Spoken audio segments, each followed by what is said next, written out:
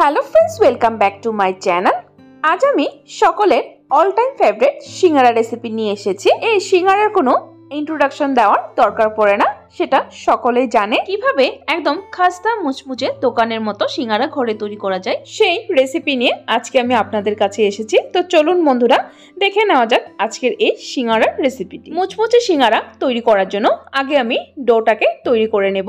এখানে আমি নিয়েছি দু কাপ পরিমাণ ময়দা। দোকানে কিন্তু ময়দা দিয়ে তৈরি করা হয় সিঙ্গারাটাকে। এর জন্যই খুবই মুচমুচে হয়। এখন আমি এর মধ্যে দেব এক স্পুন পরিমাণ। নুনটা কিন্তু আপনাদের স্বাদ অনুযায়ী দেবেন। তারপর এর মধ্যে দিয়ে দিলাম এক স্পুন পরিমাণ ভরে আজবান।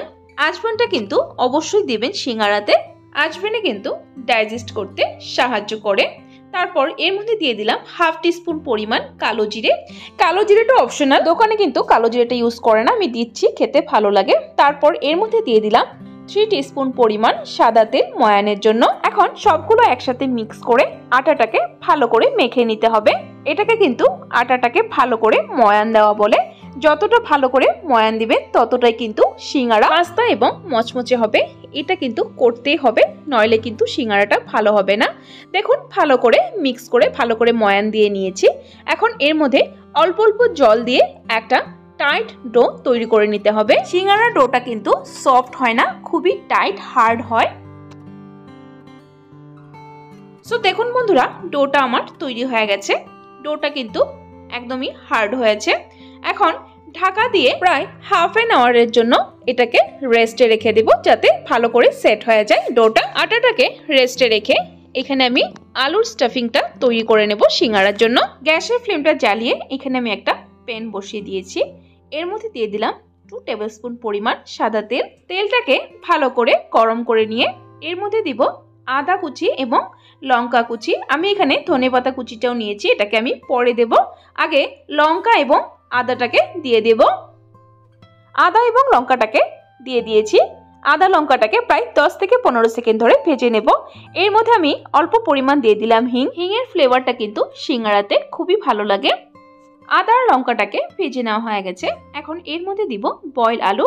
এখানে আমি ছটা মিডিয়াম সাইজের আলু ভালো করে সেদ্ধ করে নিয়েছি। আলুগুলোকে দিয়ে একটু সময় নেড়ে চেড়ে তারপর আলুগুলোকে একটা ম্যাশারের সাহায্যে ভালো করে ম্যাশ করে দিতে হবে। আলুটাকে কিন্তু একদম মিহি করে ম্যাশ করবেন না। একটু একটু টুকরো টুকরো থাকবে। আবার ম্যাশও হবে একটু একটু। দেখুন বন্ধুরা, আলুটা কেমন ম্যাশ করে নেওয়া হয়ে গেছে। ঠিক এরকমভাবেই কিন্তু ম্যাশ করবেন। এখন আমি এই আলুর মধ্যে দিয়ে দিব মশলা। এখানে আমি আগে স্বাদ মতো নুন দিয়ে দিলাম। তারপর দিলাম হাফ টিস্পুন পরিমাণ হলুদ গুঁড়ো। হাফ টিস্পুন পরিমাণ লঙ্কা গুঁড়ো। হাফ টিস্পুন পরিমাণ গরম মশলা গুঁড়ো। তারপর এর মধ্যে দিয়ে দিলাম হাফ টিস্পুন পরিমাণ ভাজা জিরে গুঁড়ো। জিরে গুঁড়োটা কিন্তু ভাজা জিরে গুঁড়ো ইউজ করবেন। খুবই সুন্দর একটা ফ্লেভার আসে। আর দিয়ে দিলাম ব্ল্যাক পেপার পাউডার আর এক স্পুন পরিমাণ ভরে চাট মশলা আর দিলাম কড়াইশুঁটি বা মটরশুঁটি। মটরশুঁটিটাকে ভালো করে সেদ্ধ করেই তারপর দিয়েছি। এখন আলু এবং মশলাগুলোকে ভালো করে মিক্স করে নিতে হবে। দেখুন, ভালো করে মিক্স করে নিয়েছি। এখন আমি এর মধ্যে দিয়ে দিব দশ বারোটা কাজু। এইভাবে ভেঙে এটা একদমই অপশনাল না থাকলে স্কিপ করতে পারেন। আর দিয়ে দিলাম অল্প পরিমাণ কিশমিশ। এখন সবগুলো একসাথে আবার ভালো করে একটু সময় রান্না করে নেব।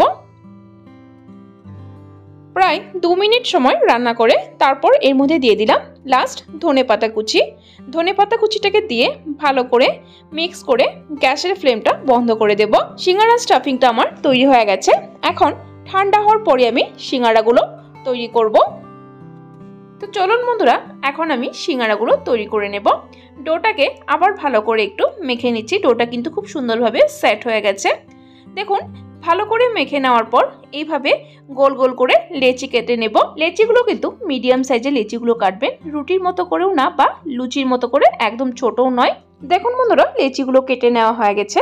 এখন একটা লিচি এইভাবে নিয়ে গোল করে নেব। তারপর একটা বেলনার সাহায্যে পাতলা করে রুটি বেলে নেব। দেখুন, ভালো করে বেলে নিয়েছি।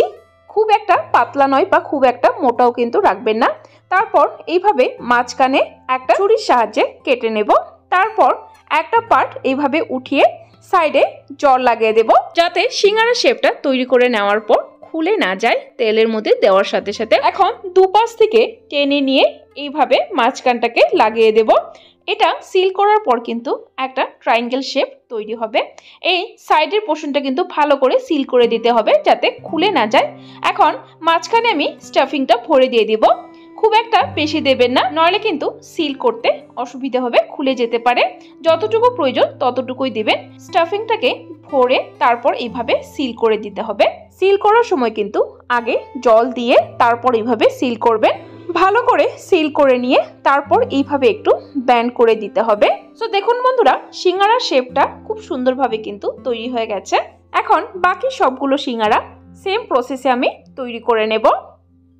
এখন যাচ্ছি ফাইনাল প্রসেসে দেখুন, এখানে আমি কড়াইতে বেশ কিছুটা তেল দিয়ে গরম হতে বসিয়ে দিয়েছি। সিঙ্গারা ভাজার সময় একটা কথা মাথায় রাখবেন, সিঙ্গারার তেলটা কিন্তু খুব একটা গরম করবে না। হালকা গরম হতে না হতে সিঙ্গারাগুলো ছেড়ে দেবেন এক এক করে। তেলটা যদি বেশি গরম হয়ে যায়, সিঙ্গারার উপরে কিন্তু বাবলস এসে যায়, তখন সিঙ্গারাগুলো ভালো হয় না, খাস্তা হয় না। দেখুন, আমি একটা সিঙ্গারা দিয়ে দিয়েছি। কতটা গরম হয়েছে, সিঙ্গারাটা দেখেই বুঝতে পারছেন তেলটা। এখন আমি এক এক করে সিঙ্গারাগুলো দিয়ে দিব। এখানে আমি দুবার করে ভাজবো। আগে চারটে ভেজে নিচ্ছি, তারপর বাকিগুলো ভাজবো। সিঙ্গারাটাকে দিয়ে আগে এইভাবে নাড়বেন না। হালকা হাতে এইভাবে সিঙ্গারাটাকে তেলের মধ্যে ডুবিয়ে দিবেন। আর গ্যাসের আঁচটা কিন্তু মিডিয়াম টু লোতেই রাখবেন। দেখুন, তেলটা কিন্তু আমার গরম হয়ে গেছে। এখন সিঙ্গারাগুলোকে উল্টিয়ে পাল্টিয়ে ভালো করে ভেজে নেব লালচে করে। সিঙ্গারাগুলোকে এইভাবে উল্টিয়ে দেবে যাতে দুপাশে ভালো করে ভাজা হয়। দেখুন বন্ধুরা, সিঙ্গারার কালারটা কিন্তু চেঞ্জ হয়ে গেছে। আমি আরেকটু কড়া করে ভেজে নেব। দেখুন, সিঙ্গারাগুলোকে আমি ভেজে নিয়েছি, ঠিক এরকম করে ভাজবেন তাহলে কুরকুরে খাস্তা হবে। সিঙ্গারাগুলোকে আমি এইভাবে তেল ছড়িয়ে একটা প্লেটে নামিয়ে নিচ্ছি। সিঙ্গারাগুলোকে একটা গ্রিন চাটনি দিয়ে সার্ভ করে নিয়েছি। গ্রিন চাটনিটা দিয়ে কিন্তু সিঙ্গারা খেতে খুবই ভালো লাগে। আপনারা চাইলে রেড চাটনিটাও ইউজ করতে পারে সো বন্ধুরা, সিঙ্গারাটাকে আমি ভেঙে দেখিয়ে দিচ্ছি। দেখুন, কতটা খাস্তা এবং কতটা পারফেক্টলি তৈরি হয়েছে। বন্ধুরা, আমার আজকের এই সিঙ্গারা রেসিপিটি আপনারা ঘরে অবশ্যই একবার ট্রাই করবেন। ট্রাই করে কেমন হয়েছে কমেন্ট বক্সে আমাকে জানাবেন। আর যদি আপনাদের ভালো লেগে থাকে, তাহলে একটা লাইক দিয়ে দিবেন। আর আমার চ্যানেলে নতুন হয়ে থাকলে চ্যানেলটাকে সাবস্ক্রাইব করার জন্য অনুরোধ রইল। সাবস্ক্রাইব করে পাশে থাকা বেল আইকনটা অবশ্যই ক্লিক করে দিবেন।